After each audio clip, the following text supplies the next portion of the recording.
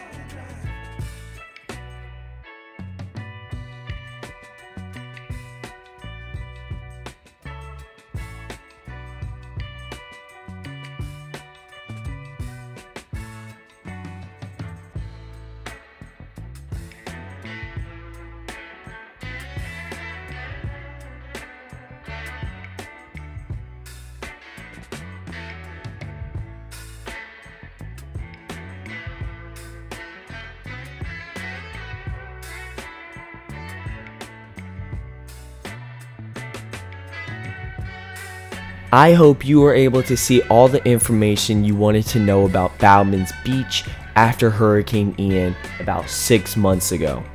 If you guys did want to go support Experience Florida's channel, then you can head down into the description and go get yourself some Florida swag.